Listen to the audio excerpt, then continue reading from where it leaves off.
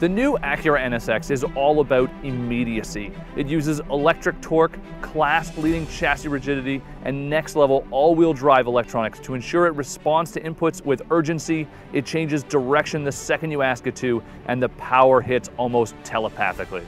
Does anyone else see the irony here? I mean, for a car that looks and goes so damn fast, it sure took its sweet time to get here. Then again, as they say, you can't rush greatness. So is that what we've got here? I'm about to find out.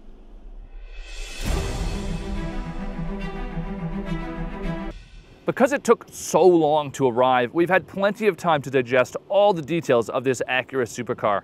From the six cylinders and two turbos to the three electric motors and nine speeds on its dual clutch transmission. And then there are the really big digits, like how much power it makes and just how much it costs just so civilized. I mean, Acura actually says it's the quietest vehicle out of any of its competitors, and I can definitely believe it.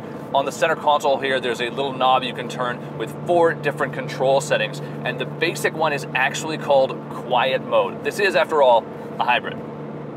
You can then switch the car into Sport, Sport Plus, and even track modes, and that makes everything in the car more responsive, stiffer, and yes, even louder. Unfortunately, it never really gets loud enough for my taste.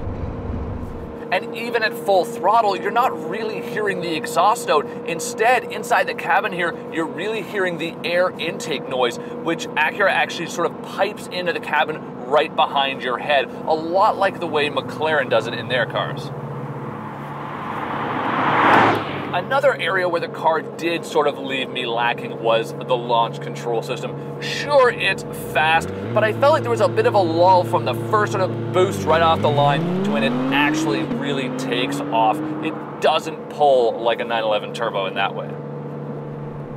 Whether it's the super rigid chassis or the magnetic ride shock absorbers, you just float along the road here. This car is incredibly comfortable to drive. Acura is making a really big deal with this car about the sight lines. Now, I know that that's not nearly as sexy as big horsepower numbers, but let me put it to you this way. If you can see out of a car really easily, it gives you a lot of confidence, and confidence in a sports car is something you definitely want. I mean, they spent a ton of engineering effort into making a tiny A-pillar, and you can see it right here. I mean, it really is very thin, gives you great visibility. On top of all that, the dash sits really low, and something that I'm super happy about being a tall driver is that the roof doesn't overhang over top of your view. When I pull up a light in this car, I don't have to sort of duck down to see what color it is or when it's gonna change. I just look up, it's that easy.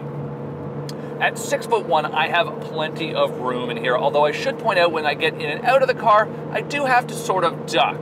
Now, speaking about the cabin, it's amazing how true Acura was to the idea of the original NSX. I mean, when you consider all the futuristic technologies that drive this vehicle, when you look around in here, it's amazing how simplistic and clean it all is and how easy it all is to use.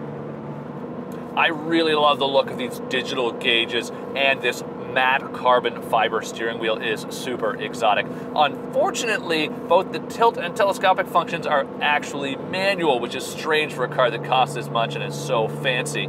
At the same time, there's some other little bits of switchgear inside the cabin, which I think aren't quite as premium as they probably should be.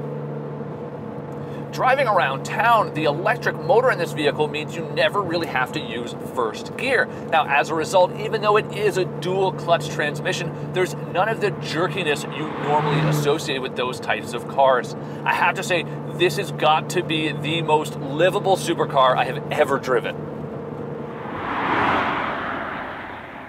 So is it worth it? Well, it's certainly not expensive when you consider its competitive set of vehicles, but we're still talking about $156,000 to start for an Acura. Let me start by saying I might be the wrong person to answer this. I haven't mentioned the styling of this car yet because it's totally subjective, but for me it's probably worth the cost of entry based just on the looks. Of course, you're getting so much more, and I'm not just talking about supercar performance you can live with and drive every day.